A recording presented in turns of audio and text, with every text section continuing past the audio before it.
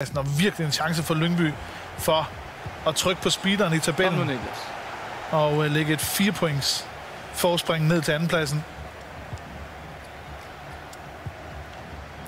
Og man må bare sige, at de sidste halvanden sæson er det vel, så har de været klart det bedste hold. Grundspillet, det, det missede til finals. Mange havde spået dem til at slå FCK. Til Jong, til Sebio op på Mbappé. Kommer måske noget her. Lille rum til at drive den. Åh, oh, Tom af Niklas Jakobsen! Niklas! Og så står der 1-0 til Brøndby. første. Første gang han kommer på bolden, så spiller han den bare stille og roligt op. Lige præcis. Fandt lige rum til at drive bolden lidt frem, og så nogle afleveringer ud foran er så feltet. effektiv. En hård aflevering ind på, at det er 9. Sindssygt skud. Sætter den meget sikkert ind. Det åbner op for opgøret. Det tror jeg, det er godt for spændingen. Hør, Så, hør. så skal han ud over stepperne, og det... Ja. Lad os se her. Den anden var, det ender med bare at gå i hårdknude. Det hele, den står 1-0 på udbanen til Brøndby efter første halvleg mod Lyngby. Sige uden at være inde i coach Barnevits hoved. Men øh, en Niklas Jakobsen, der simpelthen kom forrygende ud. Og altså foran 1-0 på udbane. Der er mange.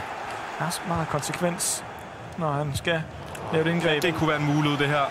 Rolig ubalance. Åh, oh, han kommer i hvert fald til skudmuligheden, snakke om. Håber engang, vi får. Lad os se her. Neymar. Får den igen. Uh, uh, rammer så hurtigt op igen, og det er vigtigt. Så skal den hjernes op i Så frimærket. kommer noget Eusebio nu. Får Får han sidste lige, angreb. måske. Så skal han også bryde igennem nu. Hvad laver Sambrota? Han er en snegl i øjeblikket. Lad os se. Der. Der får han fat i den. Og så er det slut. Niklas Jakobsen vinder på udebane 1-0 over Donolli. Lys, han går ud og spiller sit spil, fordi han ved, hvad han kan og hvad han kan præstere. Og det er også sådan en kamp, altså...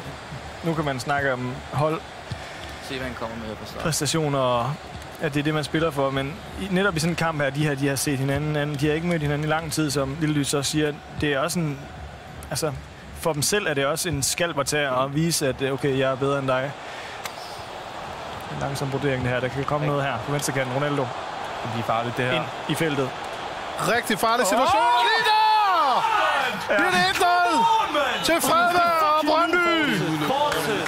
Du straffer Ja, ja, ja, men du vil Ja, ja. Det startede med, at han får fanget højre bakken for Lille Lys. Lidt på afveje, og så kan han køre ned og køre ind i banen og venter og venter og venter og venter. Og der kommer et loftet pass, der bare bliver smasket ind på tæt hold. Kun til at lidt. Altså også vanvittigt hurtigt Fredberg. Han er tilbage i balance. Har sgu... Uh, der! Godt dækket, Frederik. 5 minutter til pause. Blokeret. Opstået. er meget med de her lofted passes. Kommer direkte ind. Der er måske noget tumult her.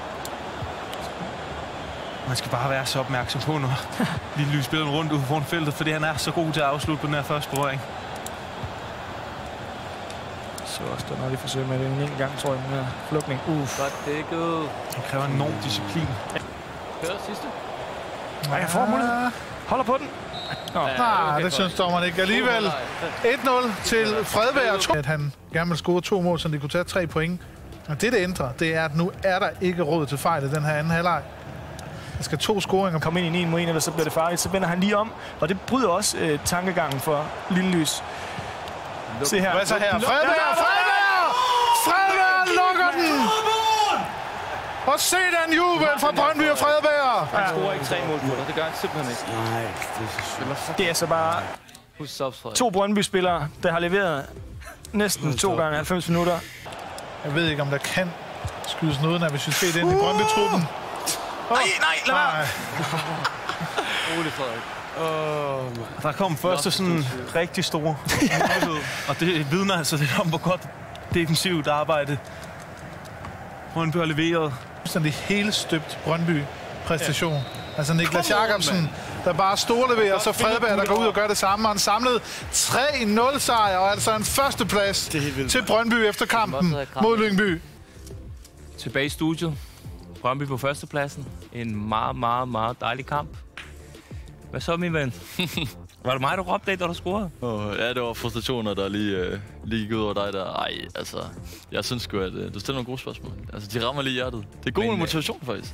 Jeg får også at vide derude, at øh, du spiller bedst, når du er sur. Det, og det alle nikkede bare med det samme, da jeg sagde det. Der gjorde de sådan, at det er rigtigt, det er rigtigt. Ja. Gør du det? Ja, det værste er, det ikke engang løgn. Altså, jeg spiller virkelig allerbedst, når jeg sådan er, er hype. Altså, når jeg er op og kører, og måske lidt sur, så kan du ikke stikke lidt mere til mig? Sådan, altså. Og jeg er god coach, jo. Jamen, det er, det, altså, det er lige før, du kan overtage mig. Kælder vandt også. Hvad er er slipper på ham? Altså, det går helt galt. jo. Men lad os lige høre en anden ting. Er du tilbage i power ranking? Hvad, siger du til mig, mand? Nej, det ved jeg ikke med den power ranking der. Altså, det, det er én kamp, øh, og jeg er sådan helt ærligt... Det eneste, jeg tænker på, det er finals. Altså, den der power ranking, det er... Det er for individualister, så, øh, og jeg går ved holdet jo, så Og I er nummer uno nu. det betyder så meget. Følelsen? Ja, det er virkelig en, en kæmpe lettelse. Altså, vi tabte to kampe i streg her den anden dag, og alle dømte os til at, ligesom at være i krise. Um, så det, at vi går ud af den her uge på førstepladsen, det er en kæmpe lettelse. Altså. Dejlig følelse. Lille lys, min ven. Hvad Det irriterer mig, mand, fordi du er min favorit til at vinde hele lortet. Som fan er der. Og så lige pludselig så er det 0 mål i tre kampe. Hvad sker der? Det, der sker i dag, det første kamp mod Midtjylland. Den skal bare holdes hjem. Vi får en, så der er ikke rigtig så meget at skabe Hvad med der. den her?